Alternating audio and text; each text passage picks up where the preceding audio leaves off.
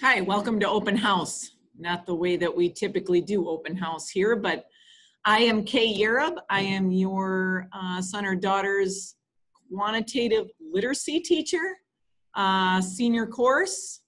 So sorry for these poor seniors that they have to start their school year like this, but we're gonna make the best, best of it and make the most of it and, and go from there.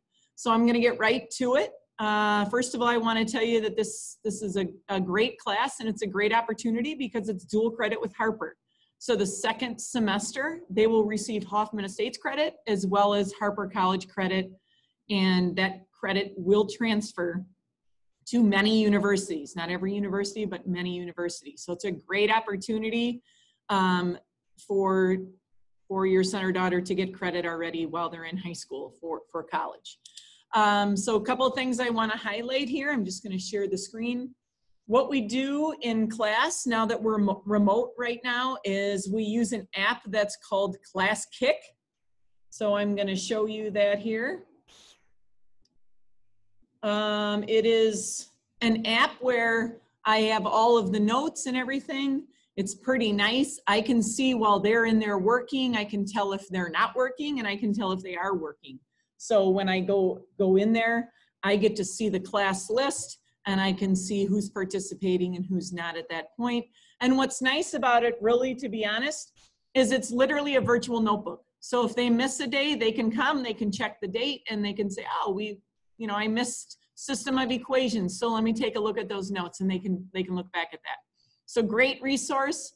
Uh, this is an app that we use every single day. It's how I give them information and how I see how they're doing as well. So this is a big, a big piece of uh, remote learning that we use a lot. In addition to that, I want to point out that we have this app. It's called Calculate 84. All of the students should have this app on their iPad. I also encourage them to put it on, a, on their phone or another device because that way they don't have to flip back and forth, but it's literally the graphing calculator and everything we need for this class right here at their fingertips, even when they're at home without going out and buying an expensive calculator. So really, really cool to, tool here to use. So make sure that you're encouraging your student to do that. Um, in addition to that, I want to point out their Schoology page. On the Schoology page, um, I always refer the kids at the beginning, the very first thing at the top says, what are we doing today? They can look there and they can check today's date and that the agenda comes up right away as to what we're doing. Uh, again, if they're absent, this is somewhere where they can see I've got the date, the, uh, the day and everything, and it'll give them kind of updates. And take note, I always have the test date at the bottom there, so there's gonna be a, a test on September 9th, tentatively right now. A lot of things are up in the air.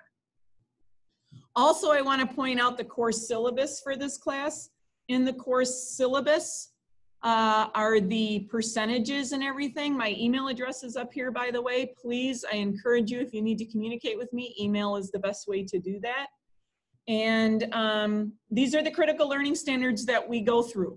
You'll notice there's only five of them, and what's nice is we get to do it in the entire school year. Harper does that in one semester. So we get to really spread it out and really take some time to practice and, and really get to know the material pretty well. Um, one thing I want to point out are the weights. There will be a final exam, but it won't be our traditional 20% of their grade. So their final exam will go in the assessment category. It will not be in a category by itself like it typically has been the last couple of years. So their tests are worth 75% and all the coursework meaning quizzes, homework, maybe classwork, those types of things are going to be worth 25%. So they need to do well in the test. There's no doubt about it. Um, you can see it's a traditional um, grading scale there. One thing I do want to emphasize, and this is very different compared to any math class that they've had all year.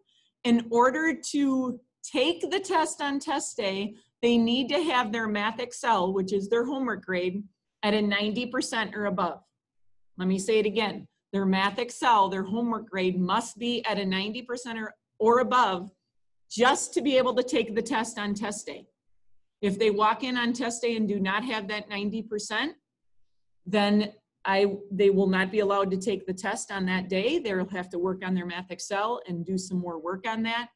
And then they'll have a two week time period in order to take that test. And unfortunately, they get a 10% decrease. So that is, that is, explanation is in this test day and homework policy. That's something that Harper does, and so we kind of follow what they do there. What's great is if you're doing the MathXL and you're doing the assignments, it's preparing you for the tests. We've had a lot of uh, luck with this. Early on, students, I don't know if they don't believe me or they don't they don't trust that that's what, what's going to happen, so they kind of push the limits. But once they figure it out and say, hey, I'm going to have that 90% done, they're ready to go to take the test and they're prepared and they do pretty well in the test as well. So um, that's about everything I have for you. And I just want to say I'm very excited for the school year, very excited for uh, working with your son or daughter throughout the year.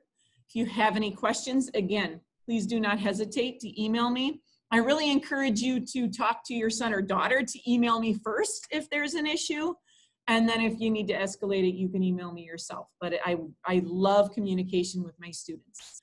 More communication is, is better. Again, I hope we have a great year. Thank you so much for watching. And hopefully we're back in school and I get to see everybody face to face very soon. Thank you so much for watching.